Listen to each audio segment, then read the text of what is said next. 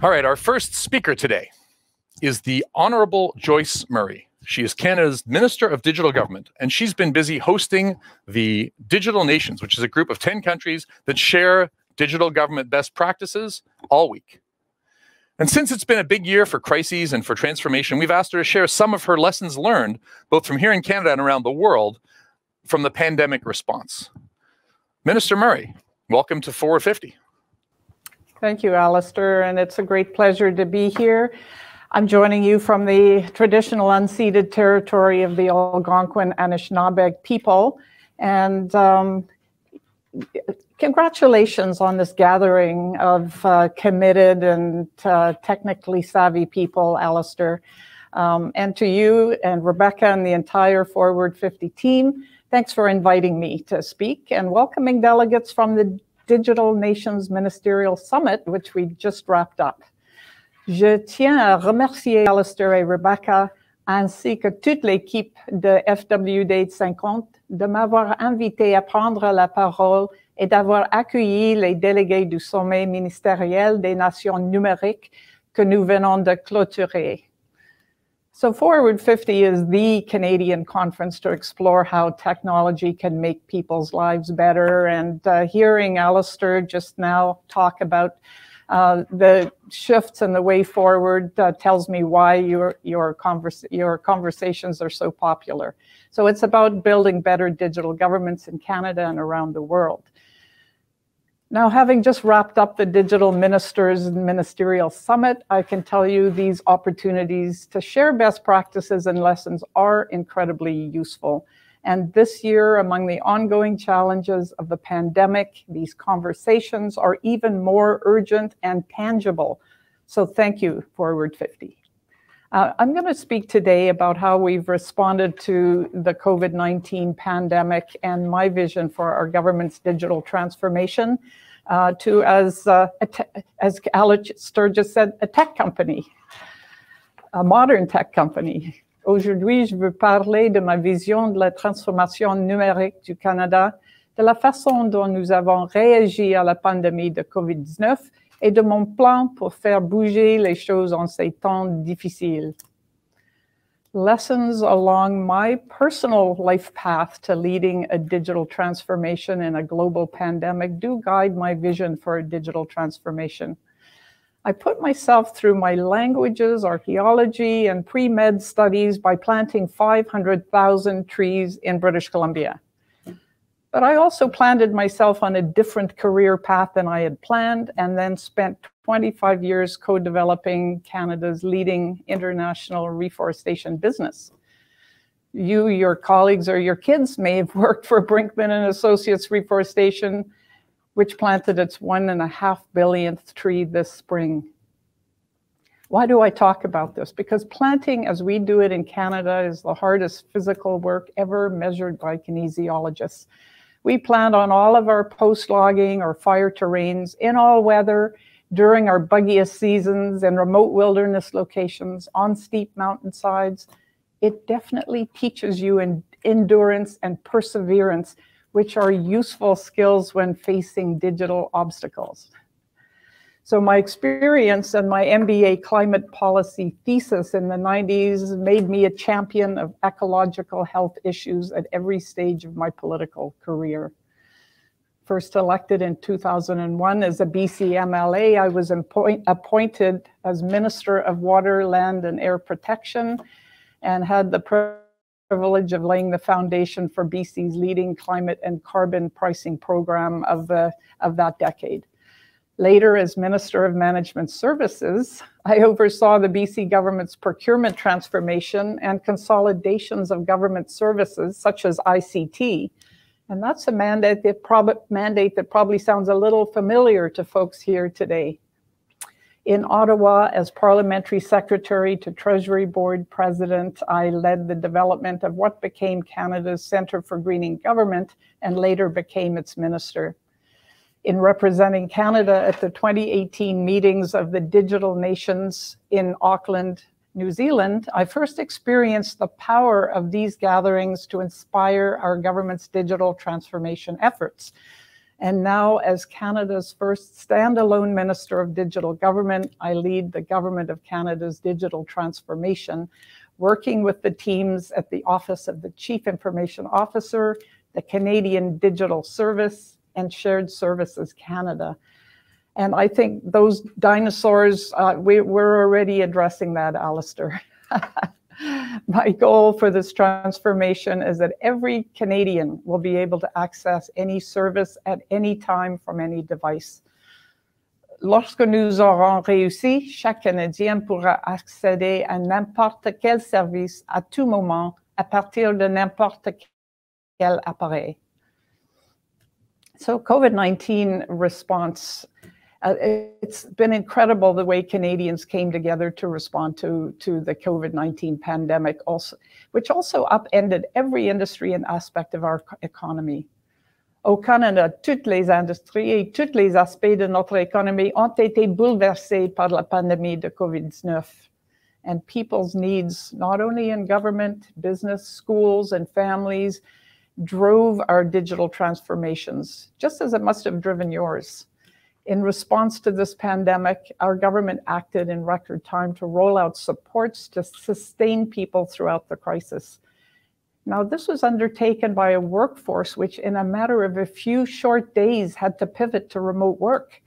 This was a Herculean effort, one that would have normally taken months, and it was done in a matter of days and weeks. C'était un effort herculéen qui aurait normalement pris des mois et il, y a, il a été fait en quelques semaines.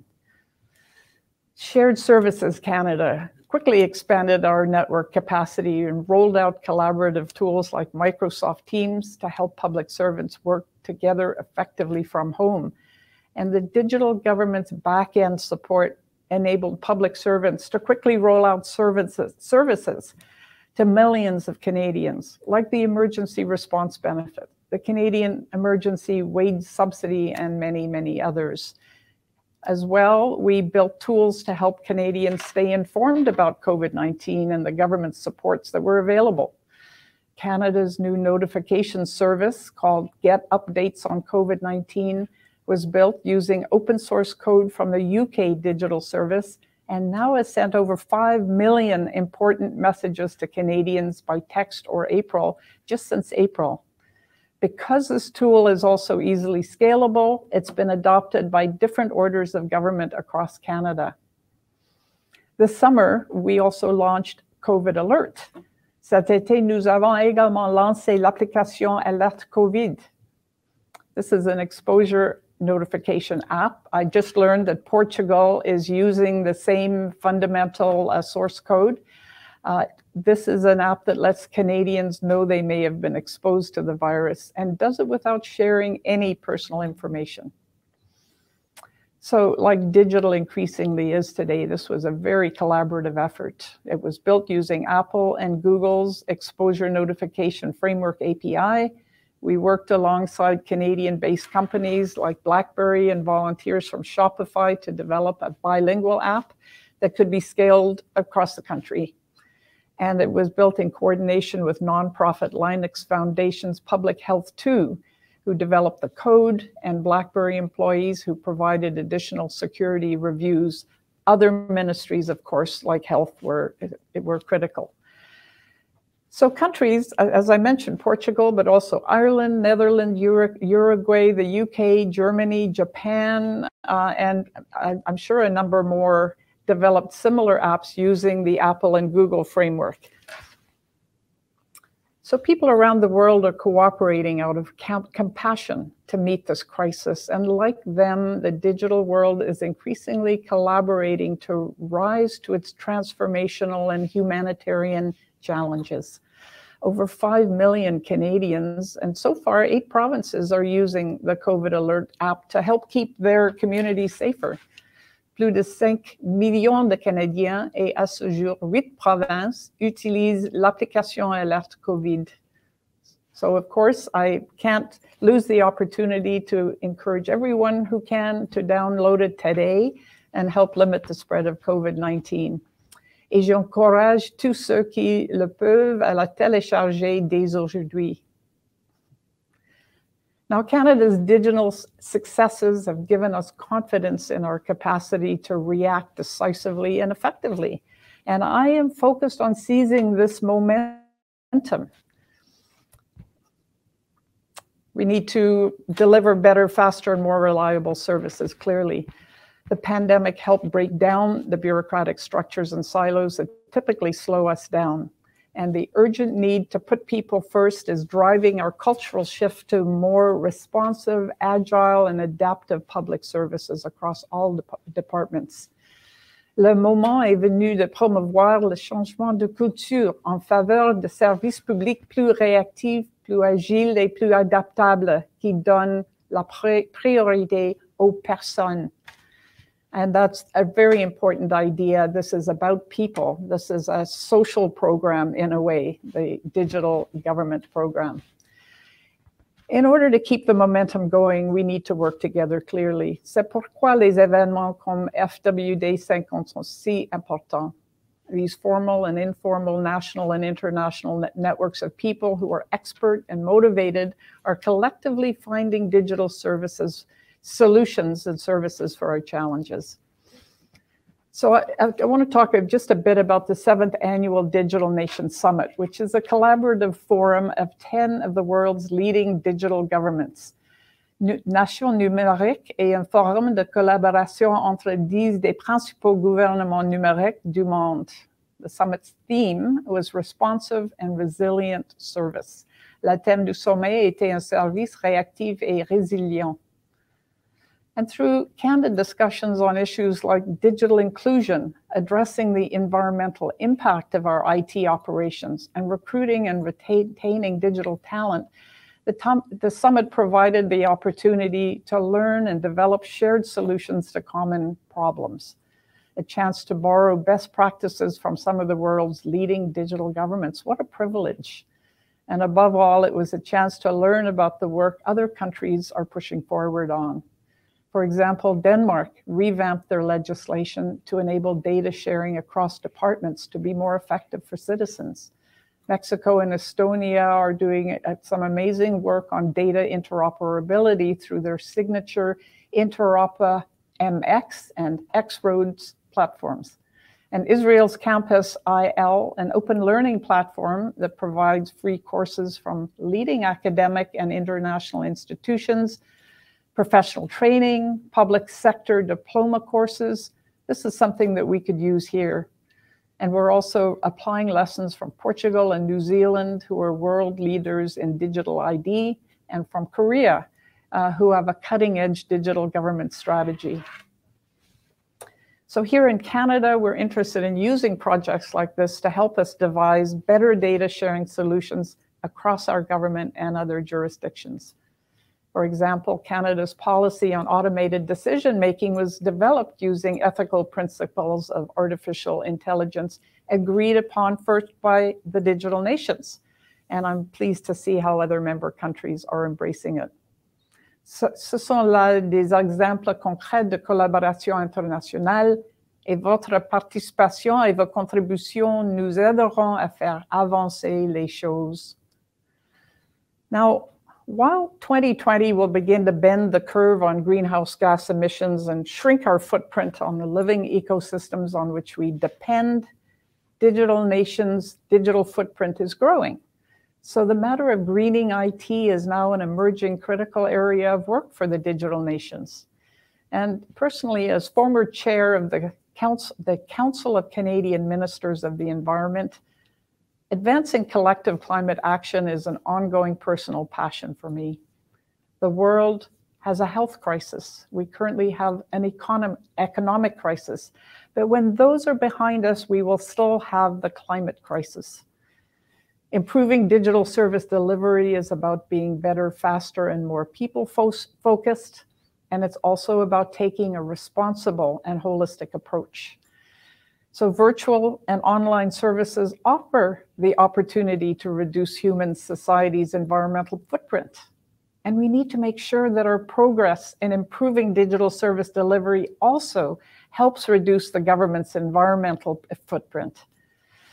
Nous devons donc nous assurer que nos progrès dans l'amélioration de la prestation de services numériques contribuent également à réduire l'empreinte écologique du gouvernement.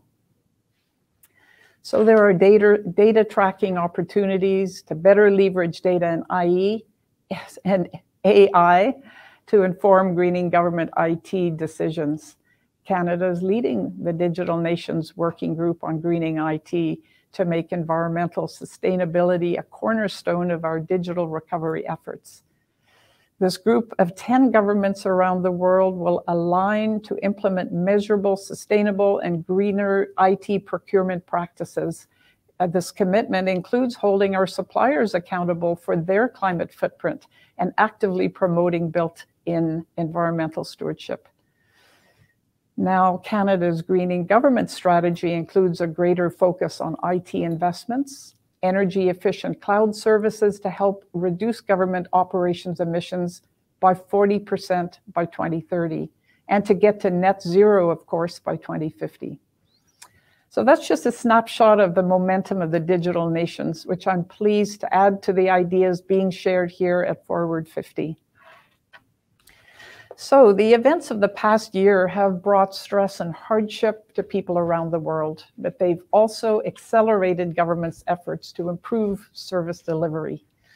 So let's harness this momentum of this digital shift, digital shift and position governments around the globe to deliver better, faster, greener, and more reliable services to their citizens in an increasingly complex and uncertain future. In Canada, our aim is that every Canadian will be able to access any federal government service at any time from any device. And my key areas of focus are modernizing the way we replace, build, and manage ma major IT projects. One, supporting departments in meeting their digital operational needs. Two, building whole of government platforms and components that make it easy for Canadians to find and use government services and trust them. That's three. And finally, overhauling the institutional barriers to change that have held us back. So fo while focusing uh, on the principles of equality, inclusion, and trust that are so critical to a healthy democracy. So what will this ultimately mean for Canadians? If Canadians can self-serve from any device, and we can then provide better one-on-one service for those who need the help.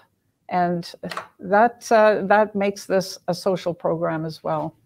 Qu'est-ce que cela signifie en fin de compte pour les Canadiens? Des services sûrs, fiables et faciles à utiliser depuis n'importe quel appareil. So I have a question. How would you like your transaction with the government to be? My vision includes no more paper forms and faxes, no more confusing and hard to find government benefits and services, no more having to call and sit on hold to get an update on your transaction, no more complicated logins with credentials that are easy to forget. And for the majority of Canadians, no more having to file your taxes yourself. International collaboration will be the norm, not the exception. So this transformation, no small task, requires finding and fostering the right people for the job, people like you at Forward 50. Surtout, il faudra trouver et encourager les bonnes personnes pour ce travail, des personnes comme vous. So I challenge those of you here today who are in the private sector to consider working for your government. Je mets donc un défi aujourd'hui, ceux parmi vous qui font partie du secteur privé, d'envisager de se mettre au service de leur gouvernement. Your expertise and forward thinking will be so valuable as we build the multidisciplinary teams to deliver better services to citizens. So this is my message to Canadian private sector digital experts. Consider working for us, the Government of Canada, your governmental tech company. we have an exchange program to bring you in and harness your perspectives. There's a lot of work ahead. You'll have a lot of challenges. But if an, a tree planting environmentalist like me can learn to lead the Government of Canada's digital transformation, then there's nothing you can't accomplish. So I encourage all of us this Forward 50 community to seize this momentum. Thank you. Merci. Thank you so much, Minister Murray. I love that you came on here to do a recruiting pitch. So, uh, as I said, government's big tech. It's just not the same as the private sector big tech. And uh, this is a great time to be. If you always wanted to work in big tech, well, now you can, right? Well, thank you so much for being here today, and thank you so much for hosting the world. It's been great to see Canada uh, welcoming countries from around the globe who cooperate on uh, digital government and, and coordination of all this kind of stuff. It's a huge undertaking to do any year, let alone in a year like this. So I'm thrilled that it was able to go off so smoothly. It was super exciting, and I learned a lot.